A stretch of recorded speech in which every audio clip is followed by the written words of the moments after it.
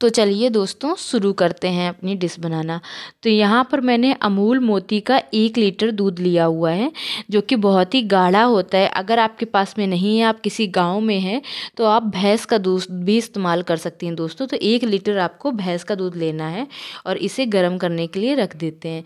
जब ये गर्म हो रहा है, तब तक यहाँ पर हमने गेहूँ का आटा लिया हुआ है। करीब एक कप यहाँ पर गेहूँ का आटा है और इसे एक अच्छा सा डो बना के तैयार करेंगे। मतलब ऐसा डो आपको बना के तैयार करना है। जैसे हम पूड़ी बनाते हैं तो पूड़ियों का जो डो होता है, वो काफ़ी हार्ड होता है, सॉफ्ट नहीं होता है। तो बिल्कुल हमें हार्ड सा एक डो बना के तैयार कर लेना है दोस्तों।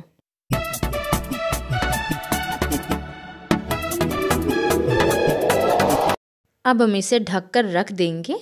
पाँच से दस मिनट के लिए। और इसकी अब रोटी बना लेते हैं। इसकी जो रोटी बनानी है, एक बड़ी सी रोटी बनाएँगे दोस्तों इसकी हम। और एक बड़ी सी रोटी बनाने के बाद में बहुत ही ज़्यादा मोटी नहीं होनी चाहिए, बहुत ही पतली नहीं होनी चाहिए। जैसे हम नमक पारे काटते हैं, उस तरह का शेप देते हुए इसको हम कट करके अलग कर लेंगे। इस तरह से हमने देखिए, ये बना के अलग कर लिए हैं। अभी जो दूध था हमारा, वो देख रहे हैं, बहुत ही गाढ़ा हो गया मतलब एक लीटर अगर दूध लिया था ना तो उसका हाफ़ बचा हुआ है तो उतना दूध बचा हुआ है। अभी हम क्या कर रहे हैं, जो हमने यहाँ पर नमक पारे टाइप के जो मैंने यहाँ पे रोटी का आ, काटा काट के अलग किया हुआ था ना पीसेस वो सारे पीसेस इसमें ऐड करेंगे दोस्तों और इसे पाँच से दस मिनट तक अच्छे से पकाएँगे। दोस्तों, पाँच मिनट में जो हमारा दूध है, वो गाढ़ा हो जाएगा और जो इसके पीसेस थे, ये ऊपर आ जाएँगे। फिर इसमें आप अपने टेस्ट के अनुसार यहाँ पर मैंने चीनी ऐड की हुई है। चीनी मैंने तीन चम्मच ली, ले रखी थी और इसे अच्छे से मिक्स करेंगे।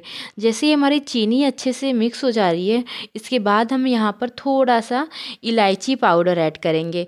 आपके पास इलायची नहीं हो तो आप उसे कूट के इसमें डालिए और अच्छे से मिलाइए दोस्तों। ये देखिए, मैंने यहाँ पर इलायची पाउडर थोड़ा सा लिया हुआ है इसे अच्छे से इसमें मिक्स करेंगे और अच्छे से चलाते हुए इसको करीब पाँच से दस मिनट इसे अभी पकाना है आपको।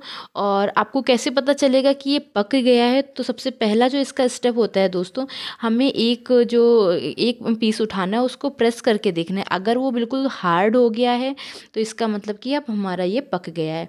तो यहाँ पर मैंने ये देखिए एक पीस उठाया। इसे हाथ से हमने प्रेस किया मतलब कि ये आराम से नहीं थोड़ा सा इसको मेहनत लग रही है इसको ऐसे प्रेस करने मतलब ये हार्ड हो गया मतलब ये अच्छे से हमारा पक गया है। तो अभी इसे हम अलग कर लेते हैं। इसके ऊपर आप गार्निशिंग कर सकते हैं।